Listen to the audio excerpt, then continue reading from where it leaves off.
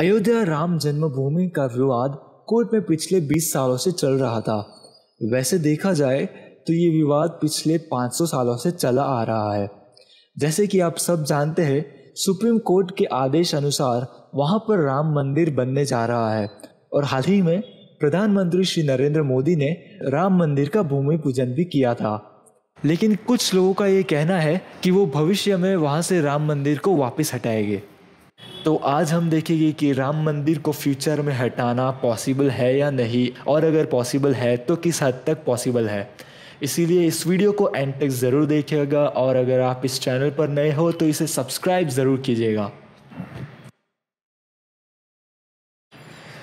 प्रधानमंत्री श्री नरेंद्र मोदी को पता है कि उनके जाने के बाद ऐसी पॉसिबिलिटीज़ है कि कुछ लोग राम मंदिर को तोड़ने की कोशिश करें।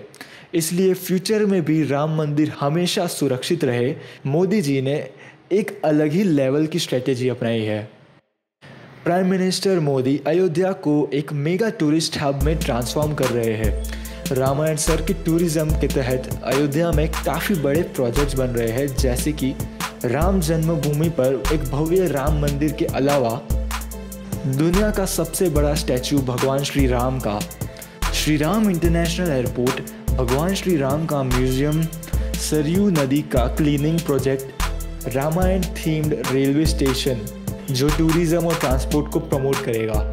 रामायण कालीन पवित्र स्थलों और ऐसे कई सारे छोटे बड़े प्रोजेक्ट्स जिसके कंप्लीट होने के बाद अयोध्या पूरा Ramayan themed international tourist destination बन जाएगा, जिसे देखने के लिए दुनिया के हर कोने से लाखों लोग आएँगे। दोस्तों, अभी आप सोचेंगे कि इससे राम मंदिर की सुरक्षा का क्या लेना देना तो मैं आपको बता दूँ कि ऐसी जगह को तोड़ना बड़ा ही आसान हो सकता है, जहाँ पर ज़्यादा लोग आते जाते ना हो या जिसके बारे में ज़्यादा लोगों को जानकारी ना हो। लेकिन जिस जगह पर रोज़ हज़ारों लाखों लोग आते हो, ऐसी जगह को गिराना बहुत ही मुश्किल होता है। अगर फ्यूचर में कोई ऐसी सरकार आए जो राम मंदिर के अगेंस्ट में हो और कोई लीगल स्ट्रेटेजी अपनाकर राम मंदिर को ख़त्म करने की कोशिश करे तो ये भी इतना आसानी से नहीं हो पाएगा। क्योंकि टूरिज़्म हर साल गवर्नमेंट के लिए डायरेक्टली या इनडायरेक्टली लाखों करोड़ों रुपयों का रिवेन्यू जनरेट करता है। और अयोध्या भी टूरिस्ट हब बनने के बाद करोड़ों रुपयों का रिवेन्यू और तो और बिज़नेस अपॉर्चुनिटीज़ भी जनरेट करेगा। और ऐसी जगह जो देश के लिए इतनी फ़ायदेमंद हो, उसे ख़त्म या डिमोलिश करने के लिए बहुत ही ज़्यादा स्ट्रॉन्ग रीज़न की ज़रूरत पड़ती है, जो कि लगभग ही इम्पॉसिबल है।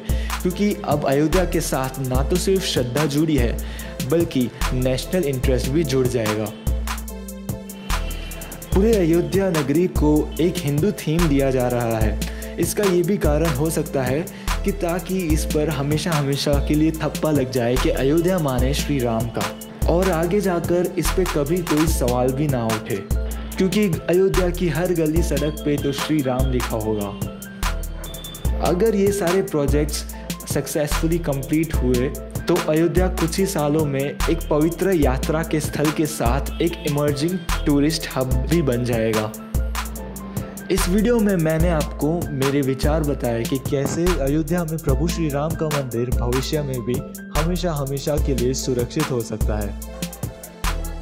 अच्छी बात बोली। आपको अच्छी लगी? तो ऐसे थोड़ा मार दीजिए हाथ आप। थोड़ा सा मार दीजिए। दीजिए। एक बार मार दीजिए। क्यों कष्ट हो रहा है आपको? अगर अच्छी लगी, मार दीजिए।